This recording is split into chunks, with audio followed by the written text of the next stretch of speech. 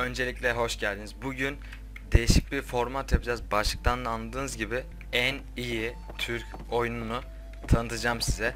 Zaten normalde izleyenler bilir. Ama ben şu şekilde tanıtmak istiyorum bir kere. Hani biliyorsunuz YouTuber'lar para alıp hani Zula oyununun yapımcılarından para alıp en iyi Türk oyunu diye sürekli onu paylaşıyorlar. İşte en iyi Türk oyunu yok, Çanakkale yok, bilmem ne. İşte en başarılı Türk oyunu bilmem ne falan diye paylaşıyor değil mi abi? Ben de bir kere uzula çektim ama pay to win olduğunu videoda da söyledim zaten. Hani öde ve kazan mantığıyla işliyor. Benim bugünkü size anlatacağım şeyler normal Warband videosu gibi düşünmeyin. Sürekli düellolar yapacağım. Siz düelloları izlerken ben de size Warband'ı daha doğrusu Mountbait'i genel olarak böyle anlatıp kıyaslanamayacak bir Türk oyunu olduğunu anlatacağım. Crysis'i tabi işin içine pek sokamıyoruz çünkü o zamanlar hani çıktığı zamanlar adam akıllı Steam kullanıcısı olmadığı için adam akıllı para da kazanamadılar. Genelde korsandan gittiler. Ondan sonra da en son iflas ediyorlardı. Yardım yardım edilmesi konuşuluyordu bu arada.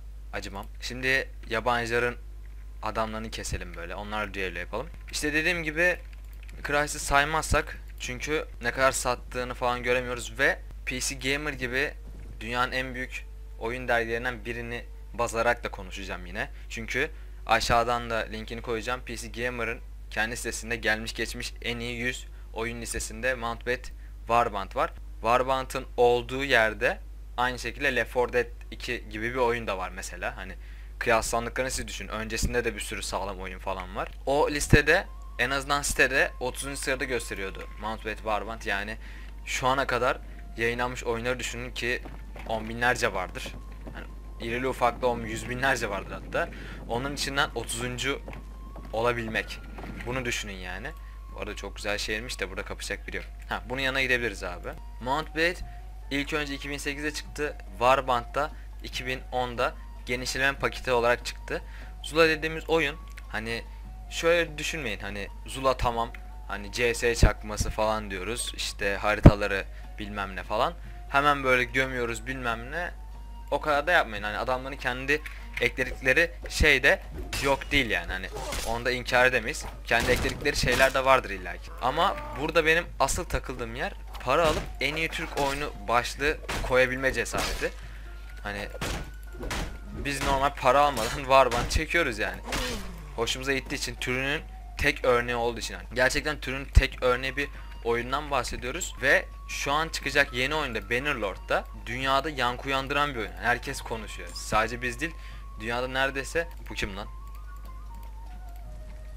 Dünyada neredeyse herkes konuşuyor. Bu arada cidden güzel ya buralar. Cihat Başlar'ın serisi hakkında ayrıca konuşurum ama şu anlık serisinden falan bahsetmeyeceğiz. Sadece düello yapıp ben sinirlendiğim bir şey anlatacağım. Arada böyle yapabilirim çünkü gerçekten insanın siniri bozulmuyor değil. Hani sırf iki kuruş para alıyorlar diye hemen böyle ne bileyim deli cesareti gibi bir şey yani bunu söylemek.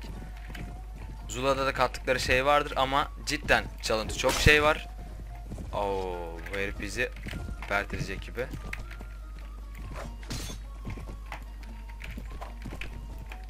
Gel gel gel. Ay. Yani bir açık dünya oyunundan bahsediyoruz ve bu oyun bir Türk oyunu. Hani açık dünya Türk oyunu ve şimdi yeni çıkacak oyunda tüm dünya bekliyor. Böyle bir şeyden bahsediyoruz. Yani ben de bir tepki olsun dedim. Oğlum bu arada buranın arena tarafı çok güzelmiş lan. Buraya ilk kez geliyorum bak. Bu da Cihat ve Aşlar modu hani bilmeyenleriniz varsa yine aşağıya koyarım. indirebilirsiniz. Hani Warband'ın en güzel Türk modlarından olarak bakıyorum ben. Acımam. Burayı beğendim. Burada seninle bir kere daha kapışacağım hadi. Steam'de de oldukça fazla şekilde çoğunlukla olumlu değerlendirilmesi almış bir oyun. Bu oyun. Zula'da Steam'den kaldırıldı falan diye duydum bilmiyorum. Ben bunu çok sevdim. Bir kere daha gezeceğim bunu. Hani kesinlikle şey yapmıyorum hani Zula'yı böyle herkes gibi şey yapmak istemiyorum. Hani gömmek istemiyorum böyle. Oynadım ben de keyifli bir oyun. Hani onu söyleyeyim. Keyifli bir oyun. Kanalda falan çekmiştim zaten. Ama o hani parası olan kazanır mantığı insanı rahatsız etmiyor değil. O çok rahatsız edici bir durum. Bunu bir daha keseceğim. Bunu çok sevdim. Warband'da öyle bir şey yok. Warband'da hani giriyorsun multiye. Tamam multinin bir senaryosu yok. Anca böyle PV modu falan izleyeceksin. İşte ufak kendine bir senaryo falan katmak istiyorsan. Ama onun dışında Warband multisinde de Napolyonik varsa da insan eğleniyor. Bir kralın senin gibi bir asker düello yapması uygun olmaz. Daha seçkin biri olunca bunu tekrar konuşabiliriz. Benle sen kapışmıyor mu lan şimdi? Ha? Seninle savaşacağız. Gel. Gel gel boş yapma gel. Normalde savaş yapmayı düşünmüyordum ama bir de savaş yapalım abi sohbet ederken. Öncelikle gelin gençler. Hepsi de tapınak şövalyesi ha. Öyle test için. Anasını satayım. Ay ay ay ay ay ay ay ay ay ay. Papaya bak. Yüce tanrım. Oğlum bu ne? Baksana papa bildiğin katedrali katedrali alıp gelmiş lan adam. Oo o ne? Vur- bak şu an vuramıyorum anasını satayım o derece. Bir kocaman aç işaretiyle gelmiş ya. Yani değişik değişik modlarla efsane bir şekilde eğlendiğimiz bir Warband'dan bahsediyoruz yani Mountbatt'ten bahsediyoruz. Onu hiçe sayıp en iyi Türk oyun demeleri beni rahatsız ediyor bir Warband oyuncusu olarak. Hani bir de bunu eee savunup hani Zula en iyi oyun falan diyenler var. Yok abi hani büyük youtuberlara para verdiler onlar da öyle se- söyledi diye en iyi oyun falan değil. Ha, inşallah Zula biraz daha bağımsız olur. İnşallah kendilerini biraz daha geliştirirler. İsterim. Yani cidden isterim sonuçta her Türk oyunu gelişsin isterim. Ki geliştirdikleri şey olduğunu düşünüyorum ama işte o pay to win özelliği özellikle çok kötü. Belki olmasa Dust 2'den almaları bile hani Dust 2 diyorum sadece. CS'nin genel olarak almaları bile o kadar koymazdı. Hani tamam eyvallah almamaları gerekiyor. Oy ben onu çok pis öldürdüm ben. Ben öldürdüm. Ben yaptım. Şimdi burada büyük ihtimal ölüp gideceğim. Oo. Yalnız kafa kesemiyorum ya. Bak. Yine dediğim gibi önceki videolarda da söylemiştim kayıt dosyam gitti. O yüzden şu an test olarak girdim. Maalesef hani bu C Cleaner abimiz yine beni çıldırttı. Oy kafa kestim galiba. Birisi kafa kesti. Bir bölümde benim kafamı kesmişler. Ulan ne koymuştu be. Harbi hala kafam kesilen bölümü unutmuyorum.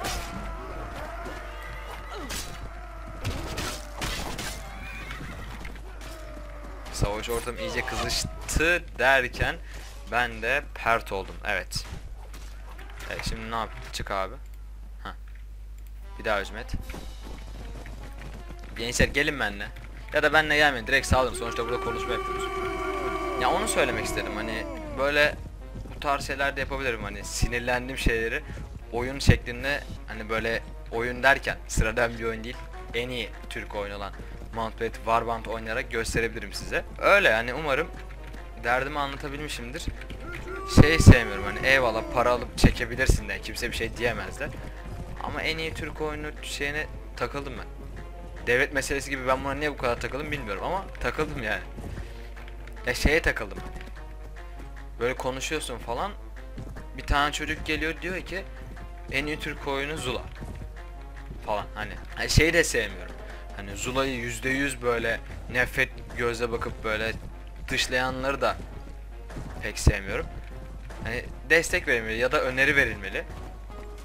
Hani yapmayın kardeşim pay to win yapmayın paramız yok yani. Hani ya paralı yap oyunu 5 lira 10 lira yap ya da parası olan kazanmasın yani. Benim en sevdiğim şey oyun içinde silah milah alıp ona para yatırmak. Oyuna para veririm ama oyun içindeki bir şey para verme koyuyor. Hani genelde insanın psikolojisi de öyledir. Hani oyunu 30 lira yap alır ama oyunda 5 lira silah yap almaz yani. Ya tabi alan alır ona bir şey demiyoruz da. Genel olarak mantık bizde bu şekilde işliyor ve mantıklı olan da bu bence. Oyun herkes parasını verir ondan sonra kendi şeyiyle e, kendi çabasıyla ilerler. CS'deki mantık süper mesela değil mi? Yani sadece tasarım olarak değişiyor ama kullanılan şeyin işte damage'i, hasarı değişmiyor ya da özellikleri gelişmiyor. Yani parası olan daha üstün olmuyor abi. Daha iyisiyle alıp gömçürmüyor yani. CS'de nasıl tasarım değişiyor. Oynayan yine kendi becerisiyle oynuyor yani. Anlatmak istediğim bu.